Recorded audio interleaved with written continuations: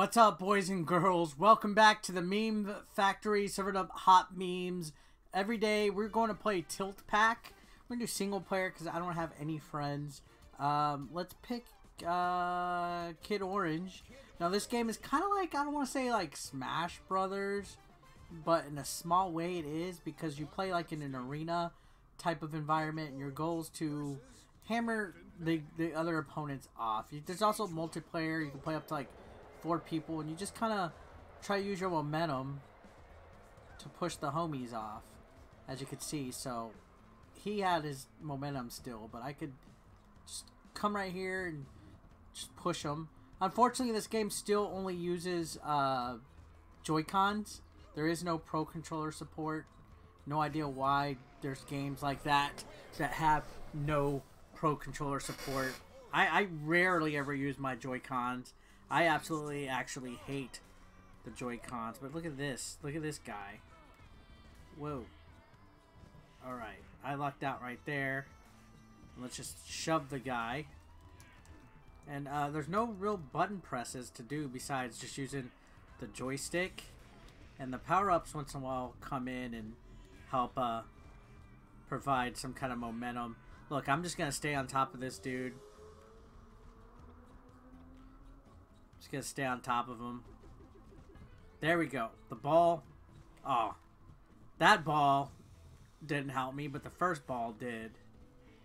I'm gonna try and get this this power up.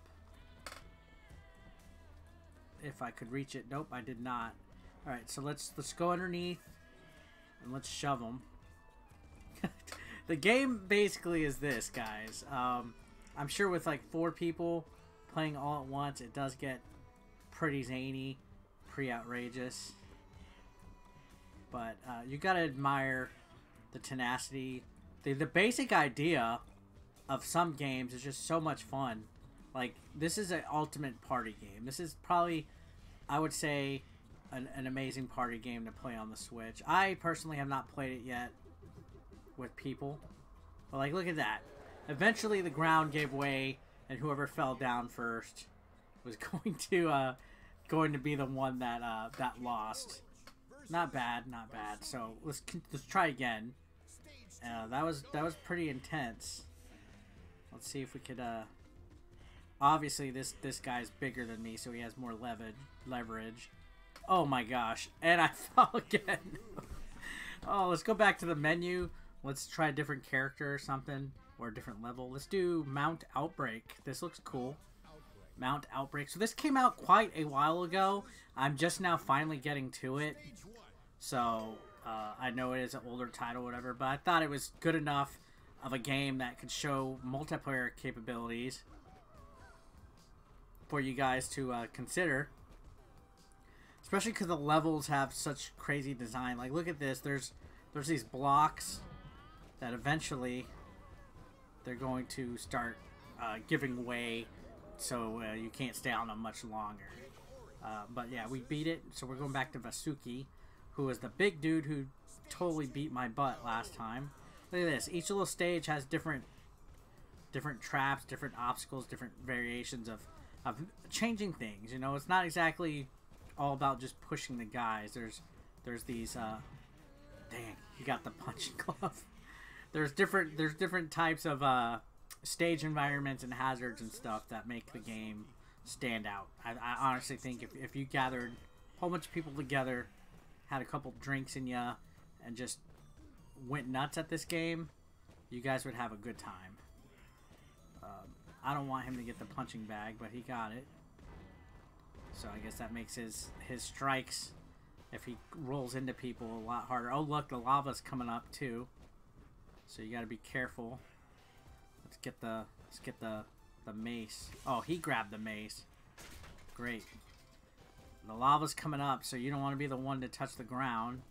So like I need to get on top of him. Like Jay's mom gets on top of people. Here we go. Let's Oh, dang it. Son of a gun. Let's go back to menu. Let's check out one of the other stages. Definitely pretty creative. This is Twisty Temple. And we're going against Killian. Look at him. He has a big mustache. So I think this, yeah, this level has spikes at the edge. Look at that. So instead of falling off the stage or falling into lava or whatever, it's, it spikes. Ooh, Red Guardian. Kind of looks like a Power Ranger, the Red Ranger. Um, I do like the variety that this game has, honestly.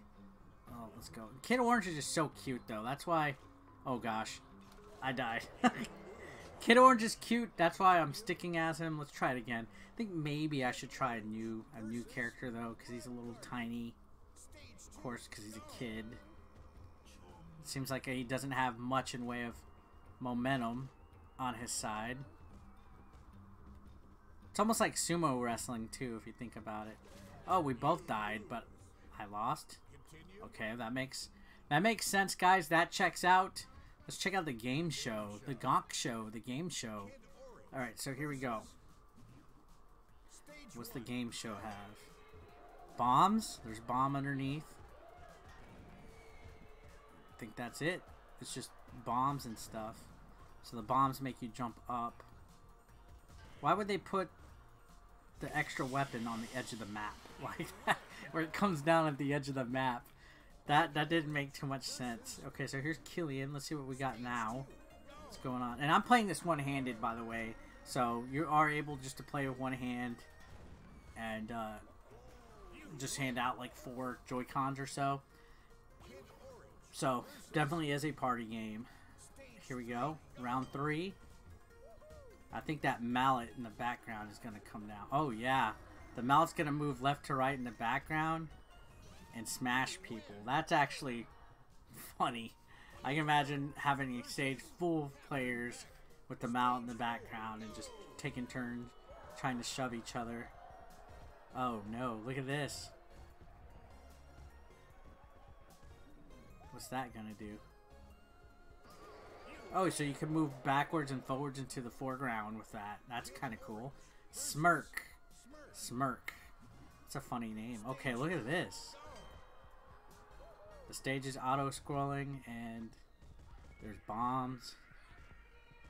Different obstacles. It's almost like MXC. Remember Most Extreme Elimination Challenge on Spike TV back in the day? That's it almost seems like. Level 6 against Madison. Alright. Ooh, look at this. The ground is going away. You can just hypothetically just stay on top of stop on top of your opponent. Oh my gosh. Okay, so this is pretty tough little opponent right here. She's blinking though. I don't know what that means. Here we go. This is just outrageous, guys. Look at this. We're almost out of out of blocks on two ends. There we go. Ooh, I won that one. Could you imagine that with more than just me and one other person? Jeez. Level 7, so this is the last one in this stage. Let's see if we can do this. Definitely seems like the game show stage is the easiest out of the bunch. Oh, look at this. It's tilting. The stage is tilting. I'm gonna just... Oh, nope. I lost. oh, let's continue. Let's try again. Since I'm still at level 7. See if we can do this, guys. Just knock her off.